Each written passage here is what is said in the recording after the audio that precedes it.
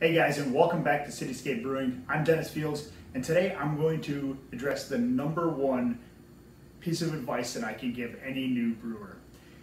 A lot of people would think that that is sanitation, and although that's important, I think everybody knows that, right? I mean, you read enough about brewing, you know you need to clean, and you know you need to sanitize, and that's the first thing you hear about is worrying about getting an infection or something like that. So I think most people do a pretty good job uh, of cleaning and sanitizing. Although that's important, my number one piece of advice for new brewers is actually temperature control. So I live in the Carolinas and it gets hot. Uh, it's over 90 plus almost every day in the summer and my garage where I do most of my brewing and even in, in, fermenting is hotter in the daytime, probably 85 plus most of the time.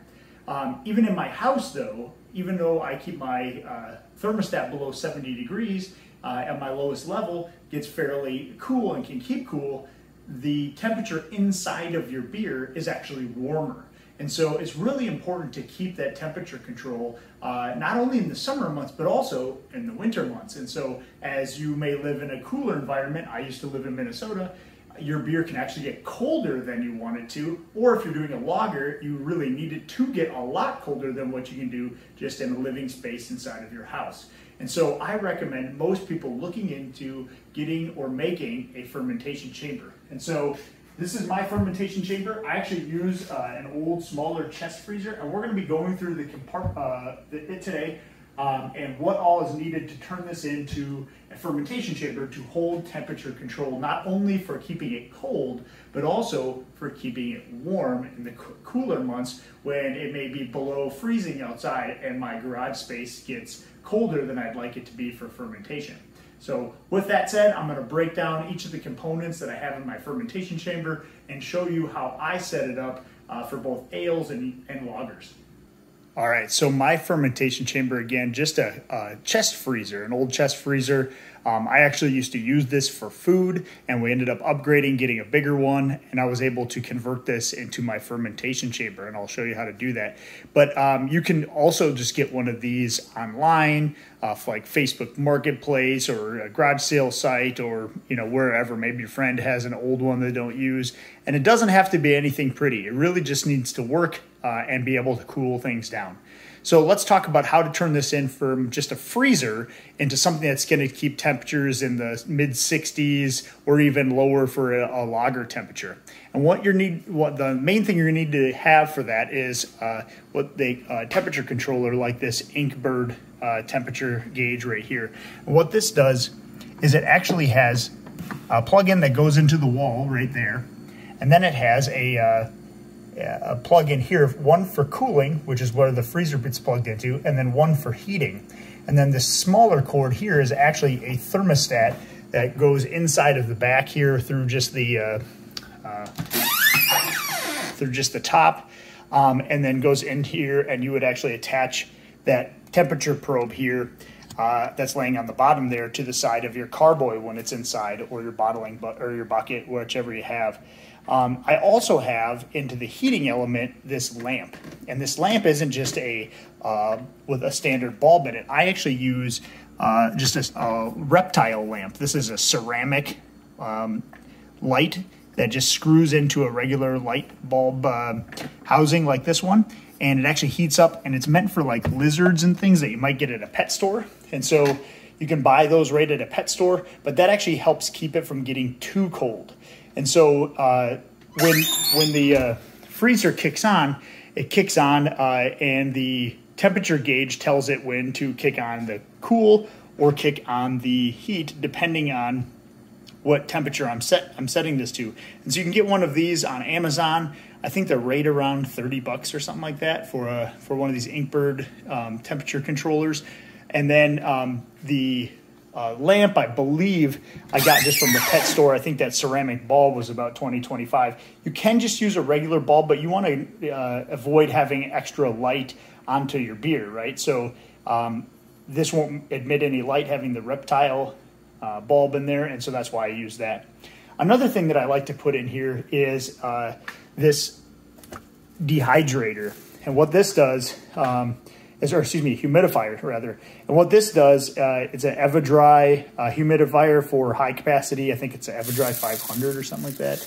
Um, and what this does is it actually takes the moisture out of the fermentation chamber and it stores it in those little beads inside. And so you can see that they have uh, kind of little orangish beads. And when they turn wet, they actually turn to a darker color, like it says wet and dry on there.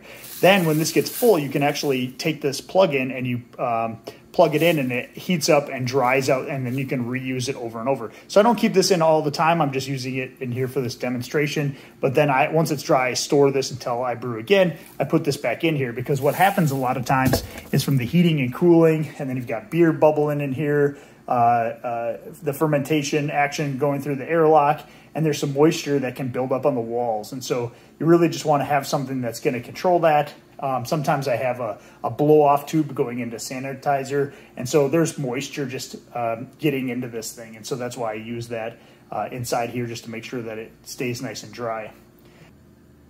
So that's the few simple things that you'll need to get yourself a fermentation chamber up and running. I like to also keep this running when I'm not using it for fermenting a beer, like it isn't right now.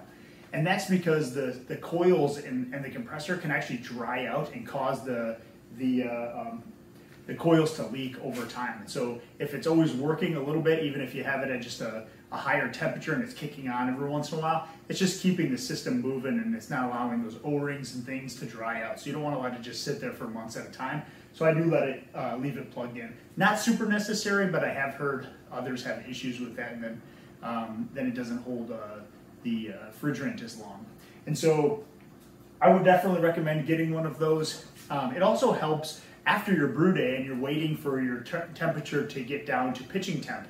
Say you uh, use your immersion chiller and you get it down, but it's not quite down enough to get to your pitching temp. A lot of people are tempted to just pitch their yeast early, and that can really stress out your yeast and, and uh, uh, if you pitch it at too high of a temperature. So it's, it's okay to actually leave it in this fermentation chamber for a while, let it actually cool down to the appropriate temperature, and then pitch your yeast, shake it real good, or use an aerator, and then uh, uh, let it go. Um, the other thing uh, about this is that it really can hone in the exact temperature you want. So I always keep mine set between uh, plus and minus two degrees. So I don't let it really go very far from my target uh, fermentation temperature. And when I put that probe on the side of the carboy or the bucket, um, I actually just stick it, uh, mine's got a harness on it, so I stick it between the harness touching right on the glass carboy. But you could actually tape, some people use kind of a damp sponge or, uh, or a cloth and you can just tape that right to the side of the bucket too. So that works just, just as well, but that'll help keep that temperature spot on all the time. And so uh, don't put it that temperature gauge inside of your beer because what's going to happen is it's going to wait for the swing of the beer and the and then the the uh, either the heat lamp or the refrigerator will or the uh, freezer will turn on too long and it can actually melt stuff in there if that thing gets too hot or too cold and so that temperature gauge is meant to be outside of your fermentation chamber or your uh, fermenter. And so that'll help keep it within that one to two to, uh, one to two degree temperature right in the middle of your fermentation range. And so each one of your yeast packets is going to have a temperature range on it. And you really want to aim, you know, probably uh, somewhere in the middle, but I like to err on the side of colder rather than hotter, depending on the yeast. But some of them have an optimum temperature range and then they have a wider range. And you really don't want to get towards the edges of those wider ranges because then you can get off flavors or it will take longer to ferment if it's on the colder side. Um, and then obviously with lagers, they need to be at a much lower temperature anyway to ferment, and something like this is necessary. I know some people use um, swamp chambers and they put ice and stuff in there and put ice baths, but by the time you're spending the time and money on ice and, and switching all that over, um, and it also doesn't keep it quite as regulated as having something like this. I think most people could find a used chest freezer online for fairly inexpensive. Even a new one at this size is about 100 bucks at most places.